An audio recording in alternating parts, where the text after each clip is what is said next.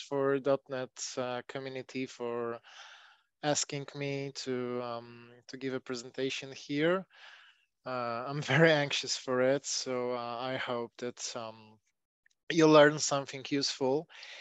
Um, this is um, this is supposed to be a mind-opening presentation because I feel like .NET tools are not anticipated as much as they um, they could probably be.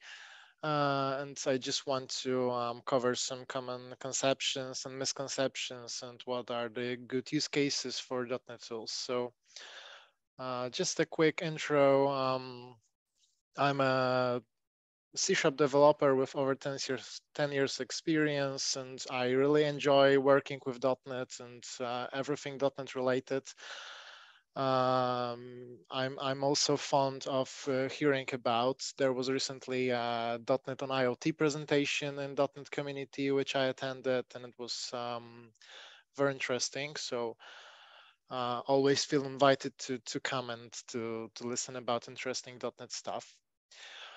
Uh, I've just started working in SoftServe April this year, and I really enjoy working in the company. And um, hello to everyone who also works at SoftServe. And I think we're building a, a strong team, and uh, it's good that we have those communities to share knowledge. Um, I, besides of .NET, I work with different technologies. I recently I had uh, a start with Docker and Kubernetes. I also know front-end technologies. I've also worked with uh, PostGIS, um, geographical information processing uh, on Postgres database. So I like to tinker. I like to try different stuff and I think it's also always good to, to expand your knowledge. And of course, I like the idea behind .NET Tools. I like that uh, the the .NET development team uh, took time to create it and polish it. And so uh, let's let's start. Um, so this is the short agenda for for today. First of all, uh, what are .NET tools? Well, they first appeared in .NET Core uh, 2.1 and there were uh, a brand new concept to the platform. Um, uh, they have first party support in .NET CLI. So uh, if you just have the .NET SDK installed, you don't need anything else uh, to use .NET tools. Um, they are distributed via NuGet, so like any other package, right? Uh, also, not, nothing new here. Uh, but as I said, .NET SDK is required to run them. So uh, we'll be talking about use cases in a second. This is not the preferred solution for just distributing um, a user-oriented kind of application. This is geared towards developers. Um, and this is uh, highly influenced by NPM and uh, this sort of uh, tools. Um, many of you may be familiar with NPM from Node.js ecosystem already. So um, there is uh, some some sort of uh, executable packages that you can just uh, install and use like uh, any other pro program. And a big advantage of .NET tools is that they are cross-platform by default. So um, they are just plain .NET assemblies and uh, there's no step involved in uh, some native compilation for a dedicated platform. So you don't need to build a Windows version, a Linux version, a macOS version. You just publish one NuGet package. And on all platforms that um, .NET SDK is available for, um, you can just use them. So uh, this is it. This is the gist of it. And um, pros and cons um, that can be deduced from what I said uh, previously. First of all, they are cross-platform and they don't need a dedicated compilation step for any platform-related stuff. Of course, you could try to break it and have dependency on some um, for example, uh, Windows only libraries, but uh, I think it defeats the point. Secondly, they are developer friendly by nature and this can be both a pros or a con. But um, i think that uh, they are and will always be geared uh, to developers and developers only. So if you have any other needs uh, you want to create and distribute a user oriented application then .NET tools are just not for you uh, there is easy distribution via NuGet, so nothing new to learn here and no special skills to create a .NET tool, uh, which we're also going to do during this presentation, to just create a console application and um, package it uh, uh, in a defined way and, uh, and just install it and use it. So learning curve is um, really low. But uh, on, on the con side, uh, .NET SDK is required. And as I said, um, regular users um, won't probably be interested in using .NET tools because you need to be savvy with uh, command line interfaces and uh, having the .NET SDK installed. Also, um, if the tool relies on a version of the SDK that is uh, not compatible with yours, then you can't use the tool. Like if you have .NET 5 installed uh, and the tool requires some .NET 6 features, then you would need to first install .NET 6 in order to use the tool. And there are some security concerns because uh, the tools run in full trust and there are no security guarantees whatsoever. So um, potentially um, by using some tool that you, you don't check by yourself, uh, you can introduce some malicious software to your computer or to your development team. So um, this should always be, um, there should be a, a, lot of care in uh, choosing what tools to use. Uh, so um, there used not to be any uh, unified way of looking for .NET tools. Currently there is. Uh, there is both .NET tool search command and also on nuget.org there is a filter for .NET tools. So it makes it uh, very uh, straightforward to, to look for packages. And let's just have a quick look at um, NuGets. So for instance, uh, well, we'll just look everything that there is, like, uh, so .NET Tool, sort them by downloads, so by popularity. And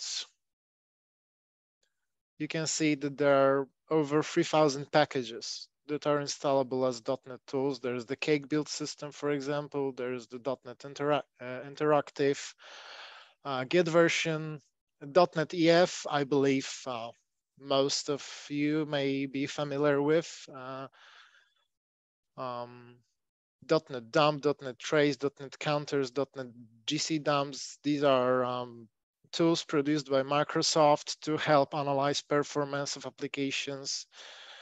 Um, so there's really a lot of it, and um, I recommend uh, having a look if you're um, if you want to, uh, to, to use some tools. Sorry, guys, uh, do you see my screen and this uh, NuGet page? Yes. Yes. Okay, because I've lost the green frame uh, around the monitor, but uh, okay, I see it doesn't matter. Uh, and also um, .NET Tool Search is from the CLI site. They, they, can be easily searched. Uh, and one of the more uh, important parts, which is um, often um, neglected, I believe, is choosing the right installation method, uh, which can be global or local. There is also um, dedicated folder, so it's almost like global, but um, not in a shared directory. And I'll show you all three of them. And this may or may not be important um, depending on the tool and uh, on the team and on the project. So there are some variables to consider. Uh, but it just gets as simple as that. Look for the tool, install and use, and of course, share. So if you discover some useful uh, tool, uh, you should um, just talk about it. Um, I don't know, write a blog post, tweet about it, or just tell your team. And also, if uh, you find it useful for your team, maybe you should introduce it into your uh, workflow, into your project. Um, so global installation is the one that is, I believe, most widely used, uh, and it's the the default used for uh, a lot of uh, blog posts and materials about uh, .NET tools. So they're installed. Um, well, global is um, uh, it works uh, for the current user, so it's not like it's uh, available for the entire machine. So at least last time I checked on Windows, it was for the current user. And um, it goes as far as just specifying minus G or minus minus global. And then the tool is available everywhere because the global.NET uh, tool installation path is uh, added to, to, to, the paths on your system. Uh, and it can be invoked without uh, specifying the .NET command first. So um, this may or may not be useful for you, and this is just a matter of preference.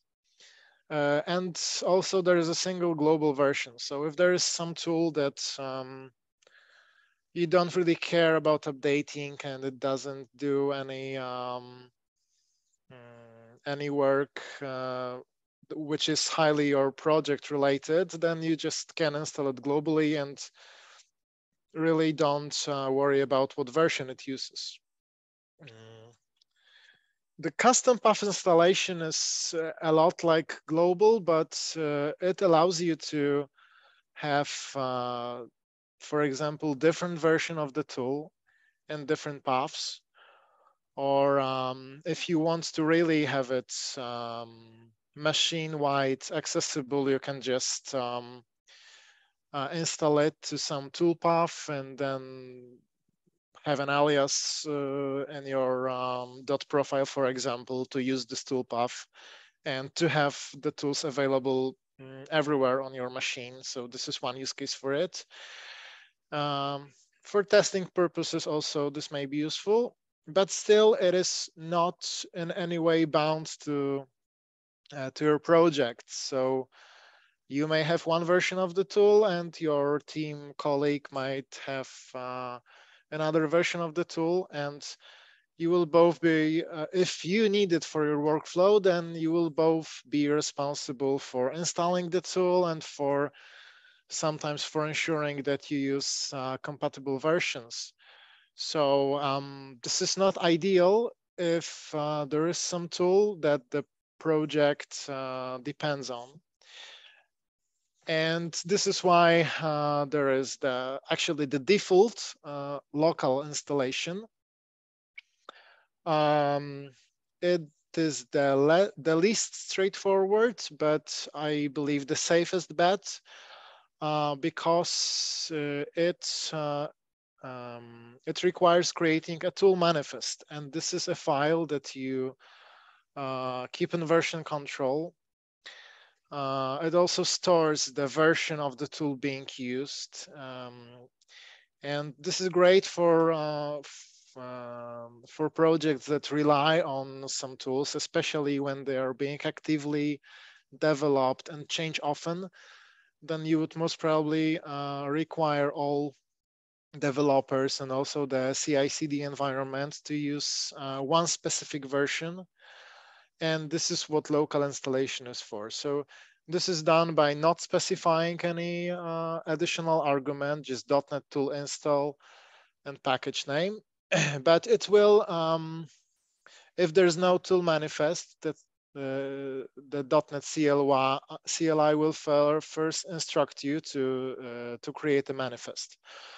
Also, there is a separate uh, restore command to install the packages, uh, install the, the local tools if not installed. And also if the version changes in the manifest, then you will also be prompted to, to restore. So uh, there is there are those two additional steps about uh, creating the tool manifest and restoring the tools locally, but it's um, uh, it, it, really isn't a hurdle and uh, it allows um, the entire team to work with the same version of the tool.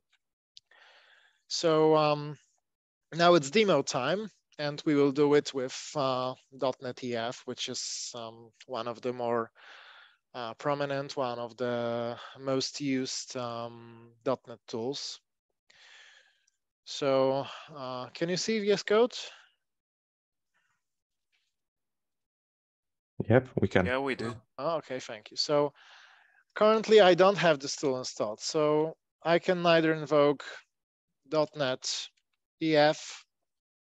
Oh, I can. Huh, funny. So it must be somewhere in the tree. So I'll just uh, go to my temp folder. Sorry for that. Uh, oh, the wrong shell. Okay, I'll just make a new directory somewhere else.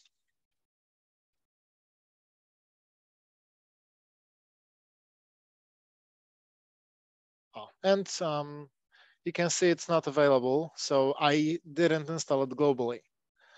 Uh, also, I can't specify the standalone command because it's not in my path. So now uh, if I do global installation for the start, so .NET tool install globally um, .NET EF. So it wasn't installed in version 6.0.8. So now I can either issue .NET EF, and so you can see it's here with this lovely unicorn, or .NET EF. And even if I switch to some um, different directory.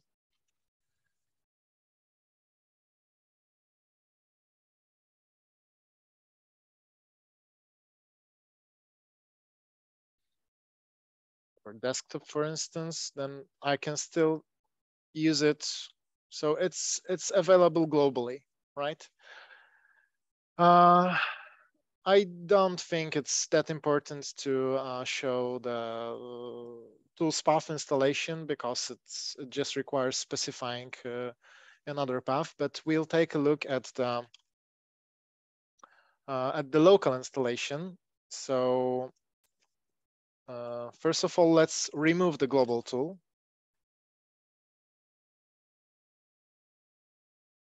And if you installed it globally, you need to specify the minus G also. Okay, so it's again um, not available in any uh, callable form. So uh, now uh, we need to create the manifest, right? .NET new tool manifest.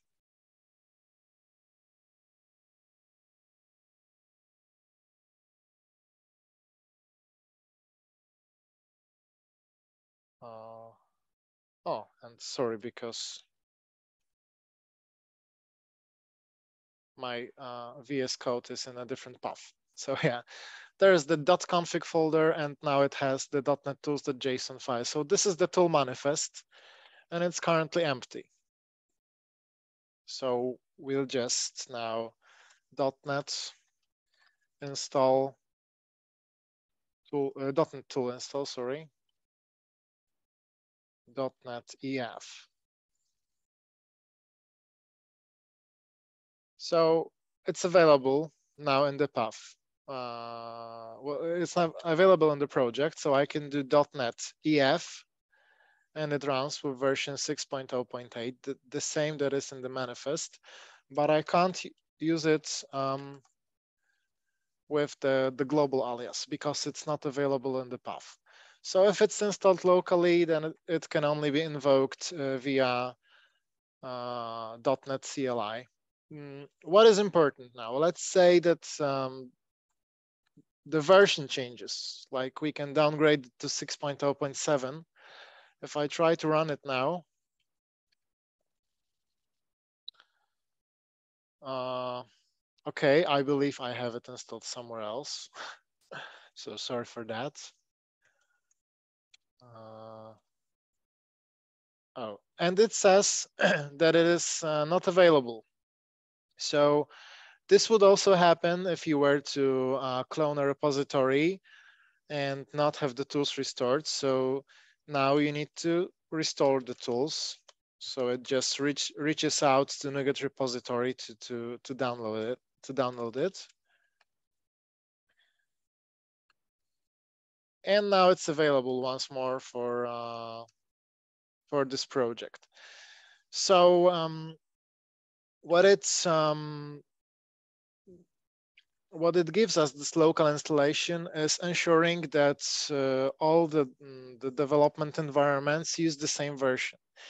And uh, for uh, for an established tool like um, .NET EF, it may not be as important, but for others that may have API changes or some breaking internal changes, uh, this may be very uh, important.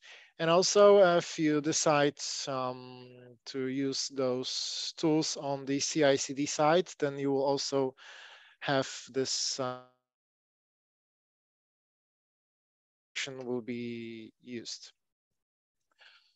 Um, and uh, if I now, uh, now I have this version 6.0.6, but I can also globally install the latest version of uh, .NET EF.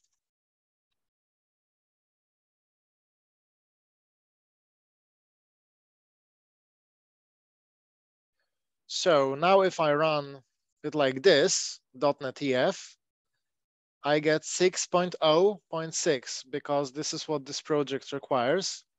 And if I do .NET dash EF, it will be 6.0.8. So this is um, a little bit, uh, this can be a little bit, bit misleading at start. And I highly recommend, even though you can technically run your tools without specifying .NET CLI, CLI first, I highly, I highly recommend using this form uh, because then you won't um, by mistake use a version that is not um, supported by your project. And um, uh, the issues it may introduce will be from like comments in your code files that it was generated by this tool version, some version, or there even may be some uh, breaking changes in code generation or uh, anything else that your tool does. So my recommendation is um, first of all to use local tools um, most of the time, uh, especially for any tool that is project related, then it's a must to install it uh, locally uh, and use it uh, in this version. So first specify the .NET CLI and then uh, the tool name.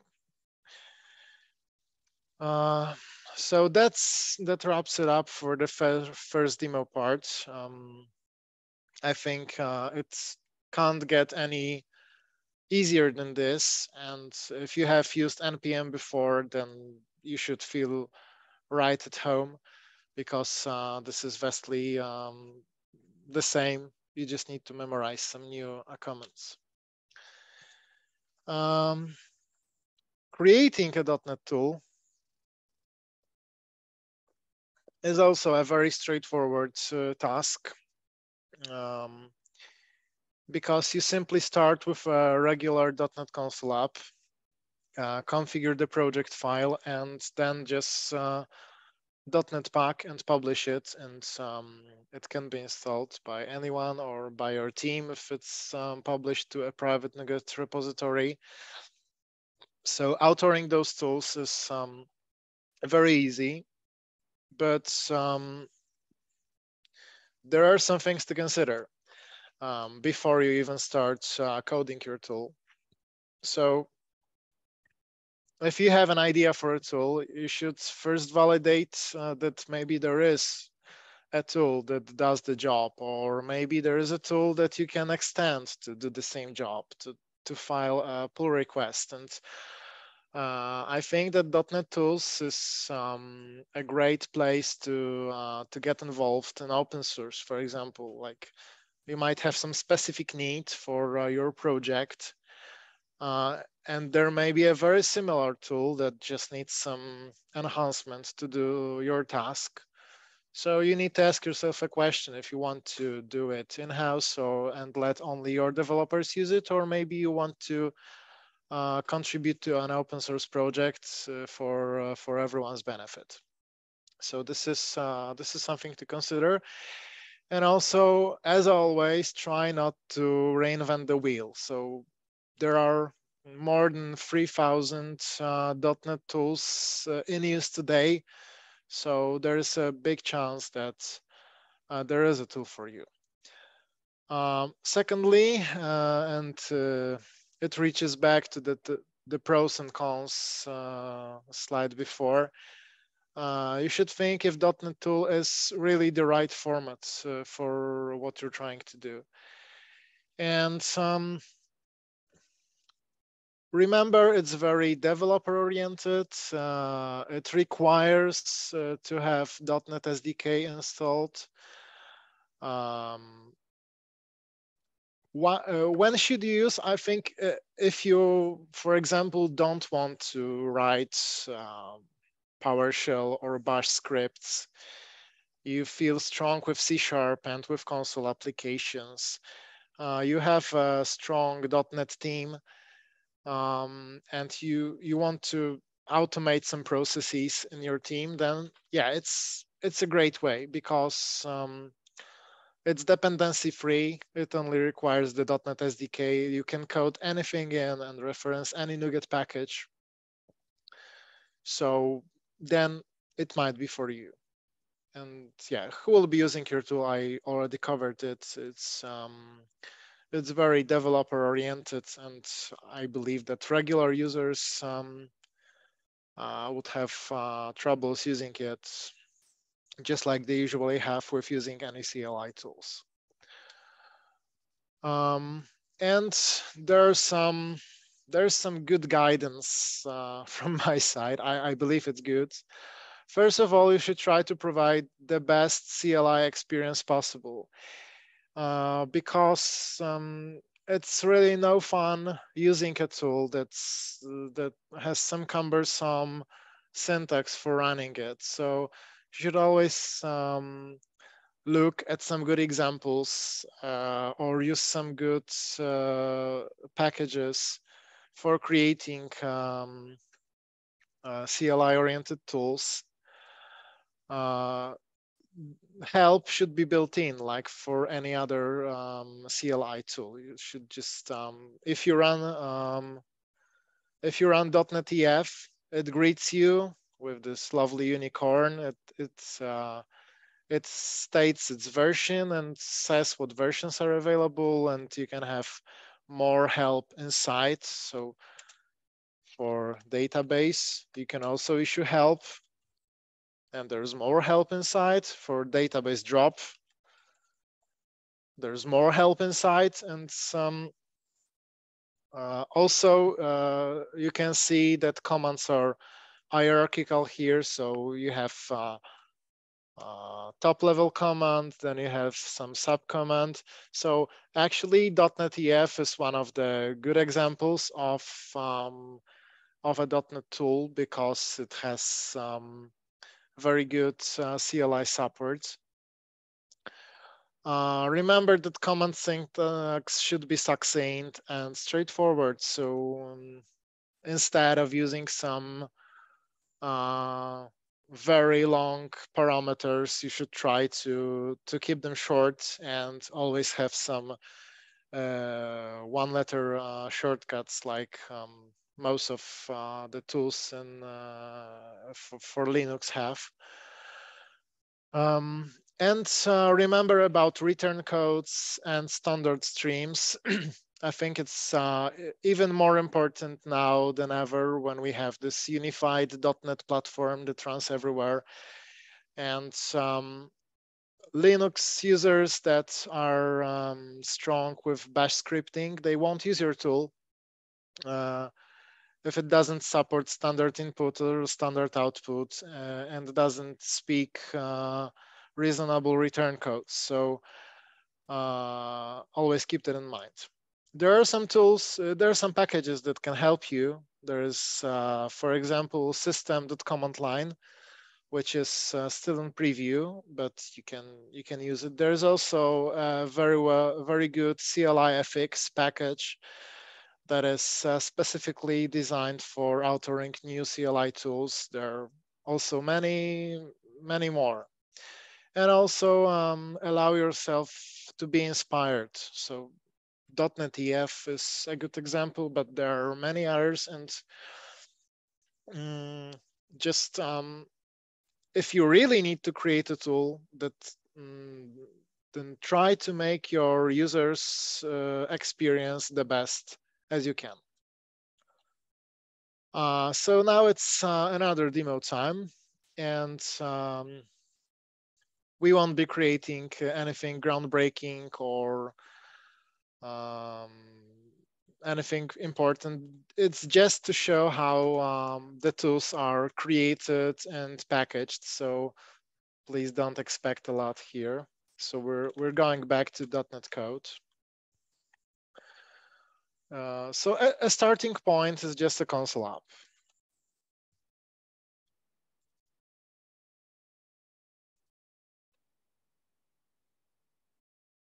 I don't know silly tool.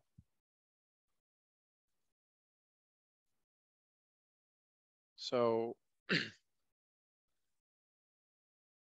this is uh, just as simple as you can go with a command line program. But I think it will be enough for, for the purpose of this presentation. So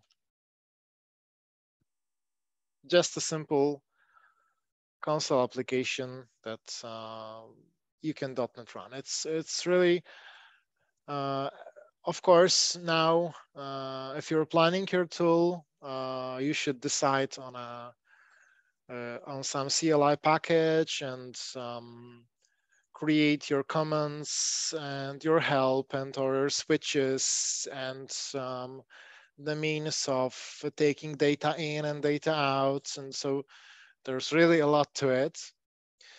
Uh, but now uh, I just want to show you how to um, mm, how to package your application and uh, also how to test it before uh, before being published. So to do it, um, there's actually, I believe, no template for creating .NET tools. So uh, you need to open your CS Proj and tell it to package as tool and we also have a look at the NuGet package uh, after it's created. There's also ToolCommandName.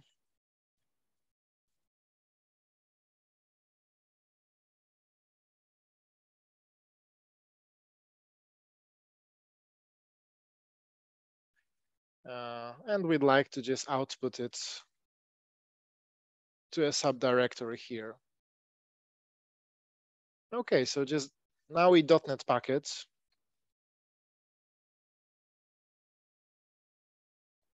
And that, that's really it. There's this uh, new package folder.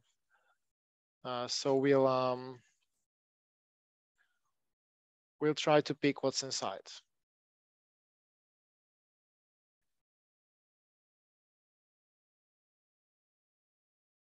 So I believe it's common knowledge that NuGet packages are just zip archives in disguise.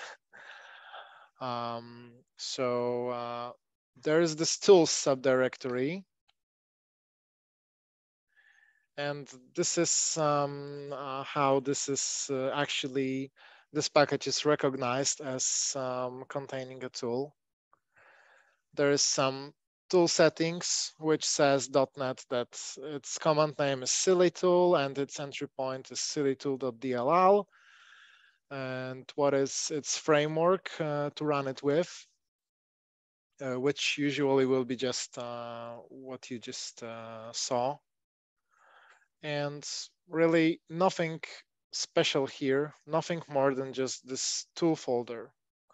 And NuSpec, um, so the NuGet specification file, uh, it contains some properties um, copied from our project. Yeah, so it also says that package type is .NET tool. So this is another um, means of knowing that it actually contains a .NET tool. Uh, and uh, you could of course publish it to um, to NuGet repository, but we're just going to uh, to use it locally. So we'll add um, this new package folder as our package source and install it from there.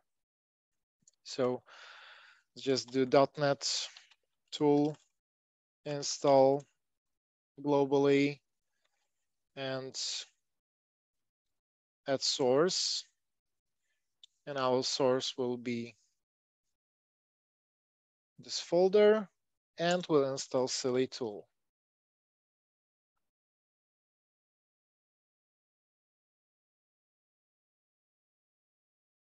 and it's here, Silly Tool version 1.0.0. So let's just try it, Silly Tool. Okay, perhaps I should um, restart my terminal for it to work. Oh, it doesn't. Funny. Uh, sorry for that. Because it said it was installed. So this is the, presentation magic, as uh, it always happens. You, with, you with the dash between yeah. CD and tool. Ah, yeah, you're right, because this was the executable name that I specified. Ah, thank you, thank you very much. Okay, and of course you can, um, no, not this way. Uh, okay, because it was not uh, locally. So, but um, the gist of it is that um, there is no special uh, knowledge or requirements or framework or SDK uh, needed to author .NET tools. So these are just your plain uh, .NET executables, which are cross-platform by nature. And um, you can really create everything you want. There are so many uh, tools. Some are very silly. Uh, well, our was extremely silly, but let's just say .NET install minus G um, dot say it was or bot say.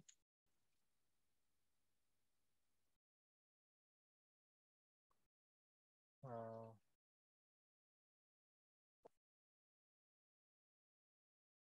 Yeah.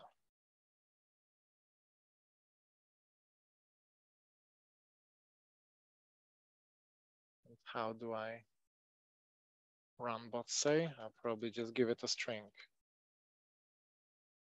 Oh, ah, and here is uh, something interesting that we discover accidentally that you see uh, .NET Core App 2.2.0 is required. And I have only these versions of .NET SDK.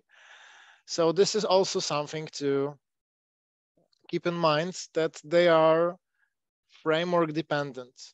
So, and it's actually very good that we uh, uh, we stumbled upon it because uh, it just goes to show that um, uh, sometimes um, when you have dependency on some external tool, then it will it may be dragging some different version of uh, .NET uh, SDK behind. So so keep that in mind. And also there is um there is a way of uh, knowing or of checking what tools uh, are installed on your machine. This is my cheat sheet. um, oh, but it doesn't cover it, but never mind. Uh, mm, .NET tool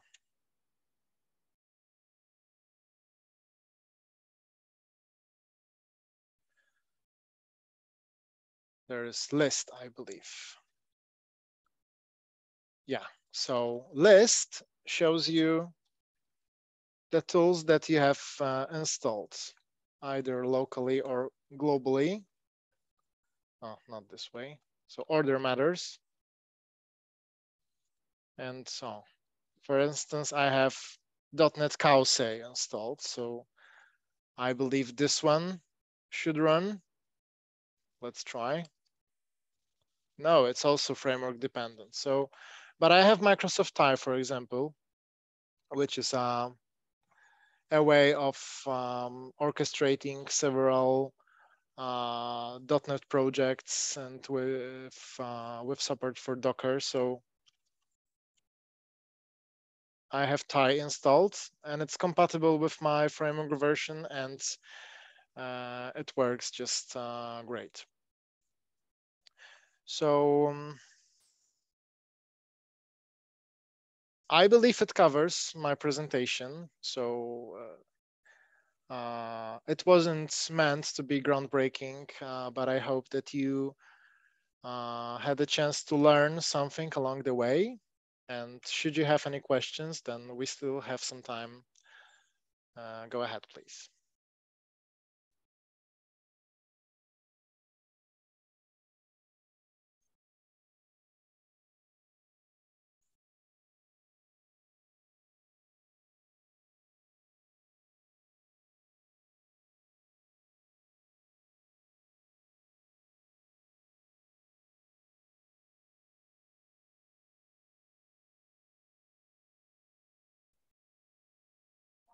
No questions. Okay, that happens too.